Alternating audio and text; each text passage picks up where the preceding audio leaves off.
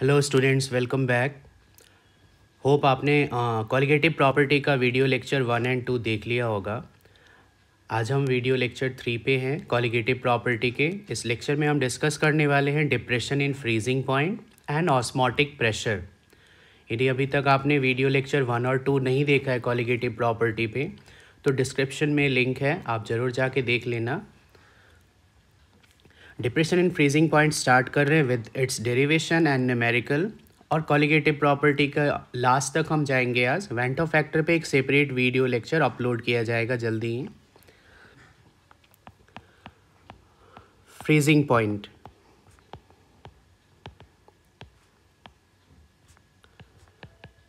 Freezing point को आप define कैसे कर सकते हो? Freezing point is defined as the temperature at which the vapor pressure of a liquid will become equal to its vapor pressure in its solid phase. The temperature at which the vapor pressure of a liquid will become equal to its vapor pressure in the solid phase.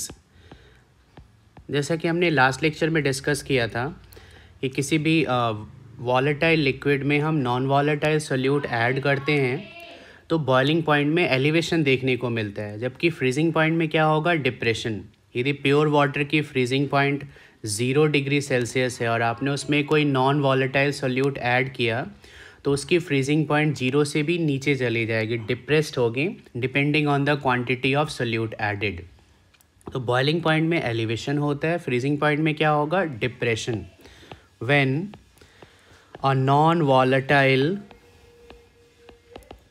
solid solute is added to volatile liquid solvent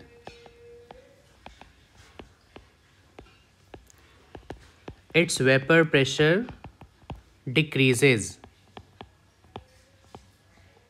and thus freezing point also get depressed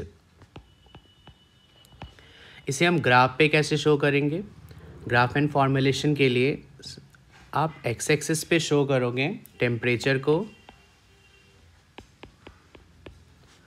और Y axis पे vapour pressure को। एक graph हमें draw करना है liquid solvent के लिए।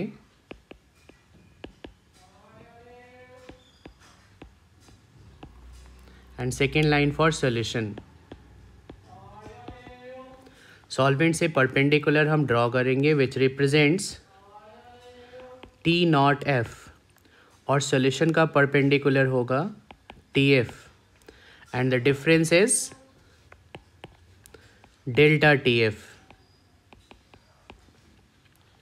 Sudden fall sudden decrease in vapour pressure को आप शो कर सकते हो। फ्रोजन सॉल्वेंट की एक अलग सी लाइन यहाँ आप ड्रॉ करोगे। क्योंकि फ्रीज आप सॉल्वेंट को ही करोगे सोल्यूट को नहीं। इस केस में हम क्या लिख सकते हैं? Delta T F is equal to T naught F freezing point of pure solvent minus T F where delta TF is depression in freezing point freezing point में कितना डिप्रेशन हुआ फ्रीजिंग पॉइंट कितना नीचे चला गया, वो हम डेल्टा टी एफ़ से रिप्रेजेंट करेंगे डिप्रेशन इन फ्रीजिंग पॉइंट को। Where as T naught F is freezing point of pure solvent right and TF is freezing point of solution last lecture में मैंने आपको बताया था delta T B is directly proportional to molality similarly experiment के through ये find किया गया होगा कि delta T F is directly proportional to molality also experimentally it has been found that delta tf is also directly proportional to molality proportional को हम equal में कैसे change कर सकते हैं by using constant. Kf. Equation number second इस इक्वेशन में small M represents molality unit इसकी क्या है? Mole per KG where as K F indicates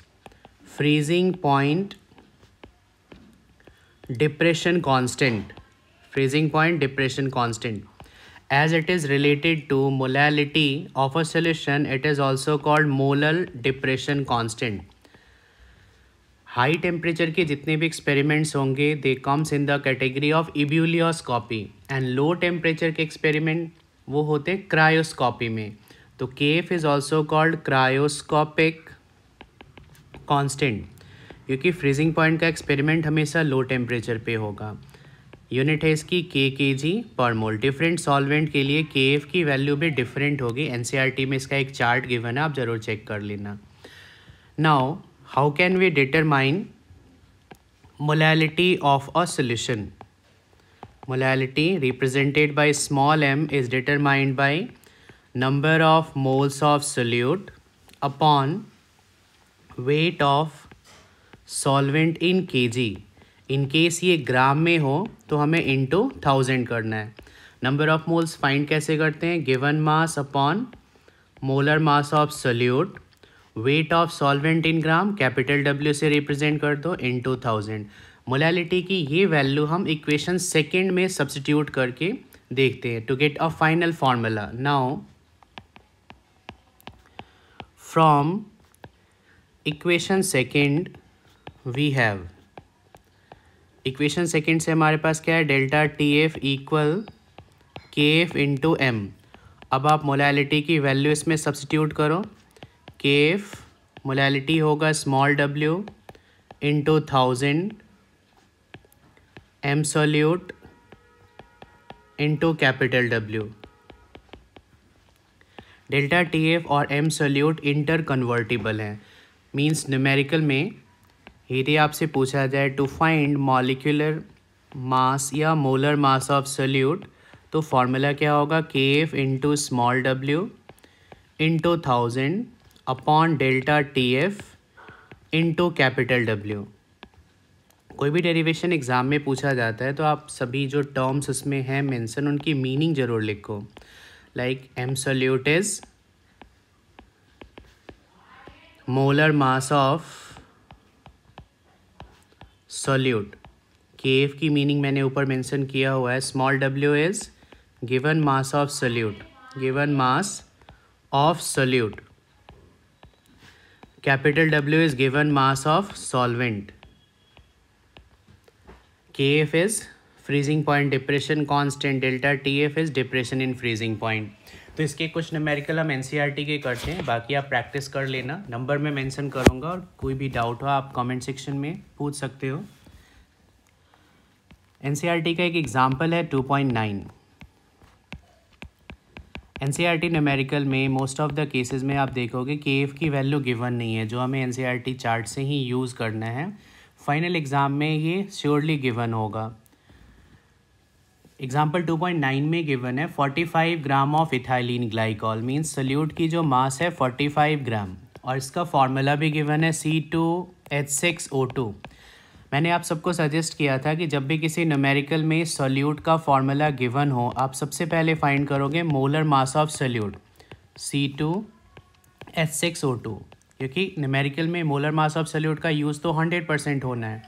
Two carbon two into twelve six hydrogen six into one two oxygen sixteen into two twenty four plus six thirty plus thirty two sixty two gram per mole इसे dissolve कराया गया है 600 gram of water में। Solvent की mass भी given है in gram water is solvent we have to calculate freezing point depression delta T F and freezing point of the solution T F अब यहाँ मेंशन मैं कर रहा दो चीज़ें जो मिसिंग है। एक तो के एफ़ गिवन होगा। K F for solvent water is 1.86 K K G per mole and what is T naught F? T naught F is freezing point of pure water pure water की freezing point क्या है? Zero degree Celsius but इसे हमें kelvin में लेना है।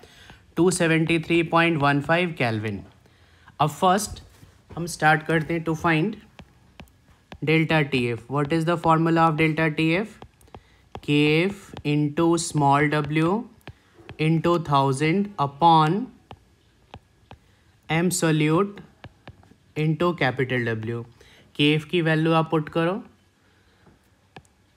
के F की वैल्यू है one point eight six small W is forty five into thousand molar mass of solute हमने फाइंड किया था sixty two and capital W S six hundred. Point को रिमूव कराया अपॉन में hundred. Two zero two zero cancel, one zero one zero cancel.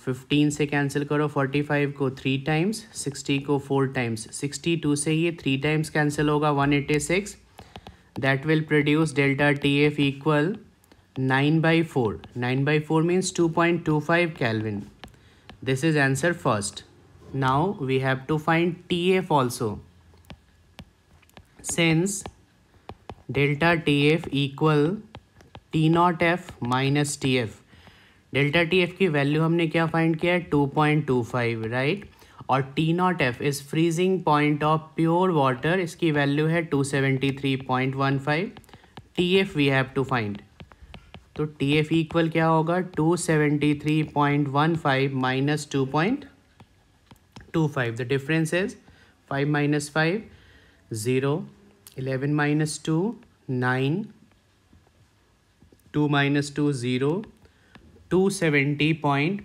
nine zero kelvin this is result first freezing point के numericals N में बहुत हैं और mostly numerical formula based हैं। आपको गिवन प्रॉपरली लिखना है। कुछ केसेस में के एफ़ मिसिंग होगा, वो आप चार्ट से देख लेना एग्ज़ाम में ये गिवन होगा हंड्रेड परसेंट फ्रीजिंग पॉइंट पे बेस्ड काफ़ी न्यूमेरिकल्स हैं for practice like example two point ten N C R T sufficient example है फ्रीजिंग पॉइंट पे प्रैक्टिस के लिए और इस पर कमांड के लिए। इंटेक्स क्वेश्चन 2.11 और एक्सरसाइज में भी इसके क्वेश्चंस हैं। उस मोस्ट इंपॉर्टेंट सेक्शन से जो मैंने आपको बताया था एक्सरसाइज का क्वेश्चन नंबर 15 टू 22 इसमें एलिवेशन इन बॉइलिंग पॉइंट का कोई क्वेश्चन नहीं है but depression in freezing point पे बेस्ड आप क्वेश्चन देखोगे तो काफ़ी क्वेश्चन हैं। Twenty and twenty one most important है। और भी न्यूमेरिकल जो फ्रीजिंग पॉइंट के हैं, वो वेंट ऑफ़ फैक्टर से रिलेटेड हैं जिसपे सेपरेट वीडियो लेक्चर आएगा। The last colligative property is osmotic pressure osmosis is not a colligative property but osmotic pressure is colligative property fourth osmosis and osmotic pressure represented by pi तो सबसे पहले हम discuss करेंगे what is osmosis and then osmotic pressure which is a kind of colligative property osmosis है क्या? It is the spontaneous flow of solvent molecules from lower concentration to higher concentration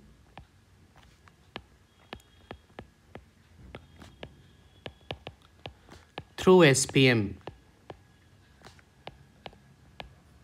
SPM is semi permeable membrane. Bio से definition थोड़ा different होने के कारण bio के student थोड़ा confuse हो जाते हैं, क्योंकि केमिस्ट्री में हम कॉन्सेंट्रेशन को मेन बेसिस ले रहे हैं। आपने एस पी एम के सेमी परमिएबल मेम्ब्रेन की एक साइड एक सोल्यूशन रखा वन एम कॉन्सेंट्रेशन का, दूसरे साइड थ्री एम तो अकॉर्डिंग टू डिफिनेशन जो फ्लो ऑफ़ सॉल्वेंट होगा, वो कहाँ से कहाँ होगा? फ्रॉम लोअर टू हायर एक साइड आपने कॉन्सेंट्रेशन रखा है वन एम दूसरी side zero point one M तो lower to higher means right to left और दोनों side one M one M है there will be no flow the flow of solvent molecules from lower concentration to higher concentration lower molarity to higher molarity is called osmosis semi permeable membrane के examples क्या क्या हैं? Example of S P M animals bladder spatially pig's bladder cellophane parchment cuprous ferrocyanate most of them are naturally occurring and can also be man made तो S P M सिर्फ़ allow करेगा solvent molecule to pass through it but does not allow solute particles to pass osmosis को stop करने के लिए एक pressure हमें apply करना होता है फ्रॉम हाइयर कॉन्सेंट्रेशन साइड। और उस प्रेशर के अप्लाई करते ही ये जो फिनोमिनन ऑफ़ ऑस्मोसिस है, वो स्टॉप हो जाएगा। The pressure is called osmotic pressure. ये प्रेशर हमेशा आप कहाँ से अप्लाई करोगे? From higher concentration side, to stop the flow of solvent molecule. The pressure applied from higher concentration side which just stops the flow of solvent molecules that is which just stops osmosis is called osmotic pressure, represented by pi. इसे हम P से भी represent कर सकते हैं। And experimentally it has been found that जो osmotic pressure है, वो डायरेक्टली प्रोपोर्शनल किसके होगा? मोलैरिटी के। सपोज़ आपने दो कंटेनर लिया है, जिन्हें आपने कनेक्ट किया हुआ है थ्रू एस पी एम इसमें एक साइड हमने रखा प्योर सॉल्वेंट को। ज़ीरो कॉन्सेंट्रेशन दूसरी साइड सोल्यूशन कनेक्ट किया हमने इनको एसपीएम से। सेमी परमिएबल मेम्ब्रेन एक साइड है सॉल्वेंट और दूसरी साइड है सोल्यूशन हायर कॉन्सेंट्रेशन सॉल्वेंट की साइड आप लिख सकते हो लोअर कॉन्सेंट्रेशन सोल्यूट इसमें नहीं है और सोल्यूशन की साइड हाइयर कॉन्सेंट्रेशन। हमने सिर्फ़ सेटअप ही किया यदि किसी लिक्विड पे आप कोई भी प्रेशर अप्लाई नहीं कर रहे हो, उस पर पी एटमॉस्फेयर। एटमॉस्फेरिक प्रेशर तो एक्ट करेगा ही। तो अभी सिर्फ़ सेटअप करके आप छोड़ दो तो जो फ्लो ऑफ़ सॉल्वेंट होगा, वो lower to higher according to definition, वो कहाँ से कहाँ होगा? From left to right, lower to higher but हम चाहते हैं कि ऑस्मोसिस स्टॉप हो जाए, रुक जाए तो एक प्रेशर आपको अप्लाई करना होगा by using piston pi from higher concentration side ये अप्लाई करते ही ऑस्मोसिस रुक जाएगा। To stop the flow of solvent molecule pressure is always applied from higher concentration side and experimentally, it has been found that osmotic pressure is directly proportional to molar concentration. इस research के basis पे pi equal C R T एक formula है. Since osmotic pressure is directly proportional to molar concentration here pi is osmotic pressure C is molar concentration R is universal gas constant T is temperature since concentration आप कैसे find करते हो? Number of moles upon volume therefore pi equal C R T become C के place पे n by V put कर लो. तो pi equal N upon V R T therefore pi V is N R T this is just similar to ideal gas equation P V equal N R T now number of moles हम find कैसे करते हैं solute की? Given mass upon molar mass of solute ये value भी आप substitute कर लो सेकेंड में to get the end result from second we get pi V equal N R T N के प्लेस पे हम पुट करेंगे small W upon M solute R T that will produce end result to find M solute small W R T upon pi V.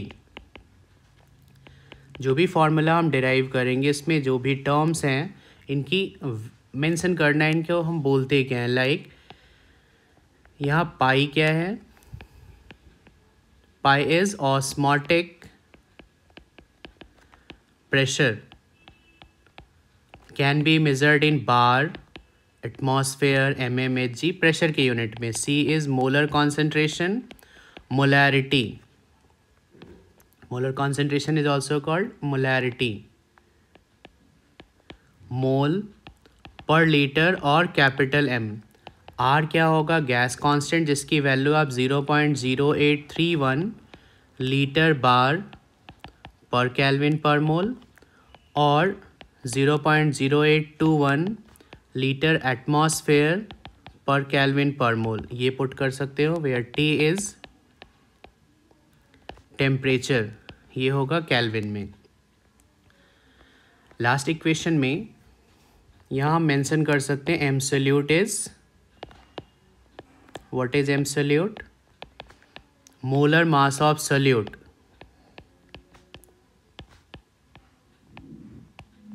small W is given mass of solute R T हमने ऊपर mention कर लिया है. V is volume of solution और ये होना चाहिए in litre osmotic pressure के भी जितने न्यूमेरिकल्स हैं, वो सब फार्मूला बेस्ड ही होंगे। लाइक एक न्यूमेरिकल हम इस पर भी डिस्कस कर लेते हैं। Now going to discuss N C R T यदि आप प्रॉपर गिवन लिखना सीख जाओ और यूनिट कन्वर्जन का नॉलेज हो तो कोई भी न्यूमेरिकल आप इजीली कर पाओगे। इस एग्जांपल में गिवन है 200 centimetre cube of an aqueous solution volume of solution is 200 centimetre cube इसे हम लीटर में कन्वर्ट करें तो थाउज़ेंड से डिवाइड करना होगा. Two zero zero litre reason क्या है? Since one thousand centimetre cube equal one litre ये मैंने यूनिट कन्वर्जन टर्म में पढ़ाया हुआ है. स्मॉल डब्ल्यू की वैल्यू 1.26 ग्राम है. The osmotic pressure of such solution at 300 kelvin temperature the pressure is 2.57 into ten की power minus three bar calculate the molar mass of protein molar mass of solute हमें find करना है, क्योंकि pi की value bar में है, आप R की यूनिट भी बार वाली यूनिट ले लो zero point zero eight three one litre bar per kelvin per mole. Now M solute का फॉर्मूला हमने अभी डिराइव किया था। Molar mass of solute is small W R T upon pi V small W की value क्या है? One point two six R zero point zero eight three one temperature in kelvin three hundred pi की value two point five seven ten की power minus three and volume is zero point two zero zero final calculation पे ये result molar mass of solute का six one zero zero two gram per mole approx आएगा। तो सभी numerical formula based ही होते हैं। आपको प्रॉपर गिवन लिखना है यूनिट कन्वर्जन का ध्यान रखना है और डायरेक्टली आप फॉर्मूले में पुट करोगे टू गेट फाइनल रिज़ल्ट चार कॉलिगेटिव प्रॉपर्टी हैं और इससे रिलेटेड एक क्वेश्चन पूछा जाता है which one is the best colligative property और why osmotic pressure is consider to be to be the best colligative property.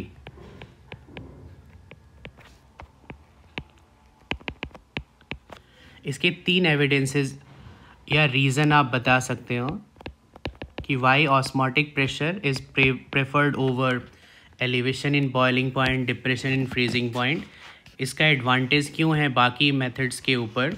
तो सबसे पहला कि हमने आरएलवीपी में मोल फ्रैक्शन यूज़ किया। Elevation in boiling point and depression in freezing point में हमने क्या यूज़ किया है? मोलैलिटी और यहाँ क्या यूज़ करते हैं? Molarity molarity of a solution is used instead of molality pressure determination के लिए आपको हाई या लो टेम्परेचर नहीं लेना है. रूम टेम्परेचर पे आप कैलकुलेशन कर सकते हो. Pressure determination occur around room temperature ये एक्सपेरिमेंट हम रूम टेम्परेचर पे ईजिली कर सकते हैं 298 के अराउंड एंड बहुत डाइल्यूट सोल्यूशन के लिए भी इसकी वैल्यू बहुत लार्ज होगी. It's value is very large even for dilute solution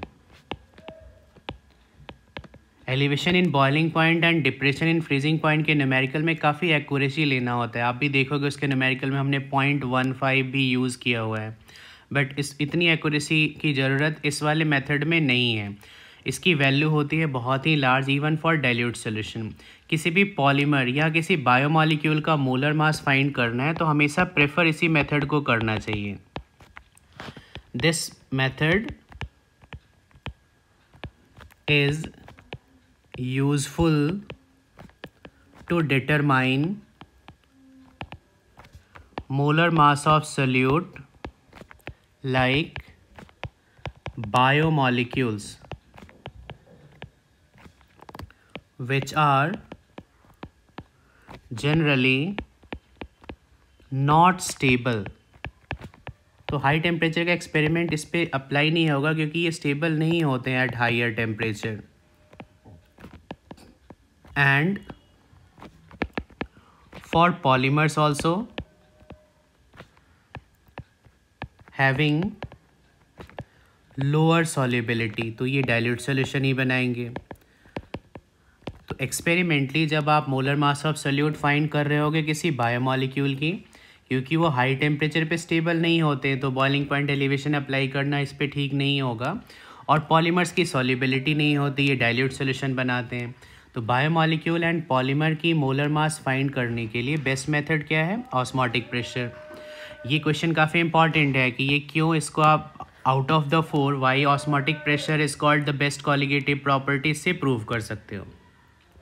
colligative property topic में कुछ छोटे छोटे टर्म्स भी हैं like isotonic solution two solutions having same osmotic pressure कुछ मेडिकल कंडीशन भी हैं एडेमा जो लोग ज़्यादा सॉल्ट खाते हैं, उनसे रिलेटेड है, उनकी बॉडी में स्वेलिंग या पॉफिनेस होगी। हाइपरटोनिक एंड हाइपोटोनिक सोल्यूशन एक सोल्यूशन के कांटेक्ट में आते ही ब्लड सेल श्रिंक कर जाएगा, एक में स्वेल कर जाएगा।